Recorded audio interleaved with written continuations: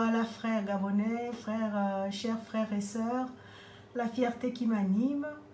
Euh, je pense tout comme vous, chacun de vous, donc de, revivre euh, cette communion avec notre président de la transition, le général Olingi Gema et son épouse, maman Oligui. Voilà, donc Zita.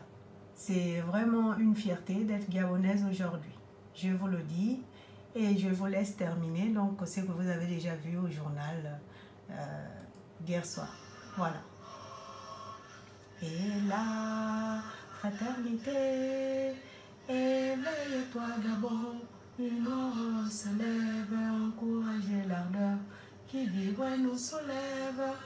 C'est enfin notre essor de la félicité. C'est enfin notre essor vers la félicité.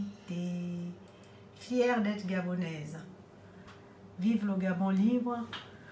Vive le CTRI, vive le général Olingui. C'est pas du kunabélisme, mais c'est juste une fierté d'être gabonaise. Voilà, merci.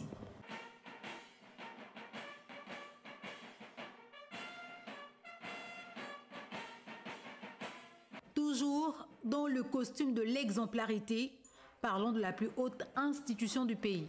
Avec honneur et fierté, l'ensemble du personnel du Palais Rénovation réunit ce lundi matin à l'esplanade de celui-ci à l'occasion de la toute première cérémonie de levée des couleurs.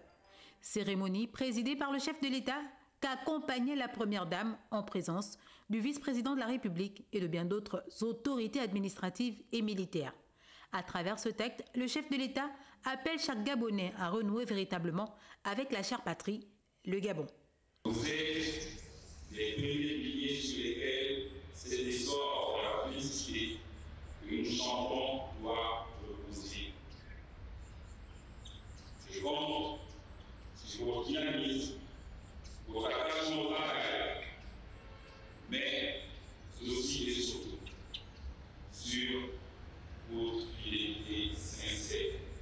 Moment solennel et propice pour le premier responsable de la plus haute administration du pays de rappeler aux administrés les valeurs et les principes guidant le fonctionnement de la République tout en les invitant à la nécessaire retenue et à la discrétion. La est une institution la plus de notre République.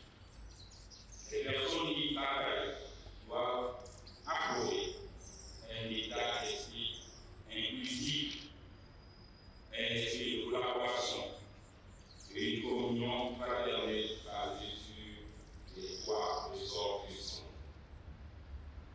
La discrétion, la solidarité, la ponctualité au travail et la loyauté instaurée par le communiqué 027 du CTRI, la levée et la descente des couleurs du drapeau national ont pour jour d'application dans l'ensemble de l'administration publique et parapublique les lundis matins et les vendredis soirs.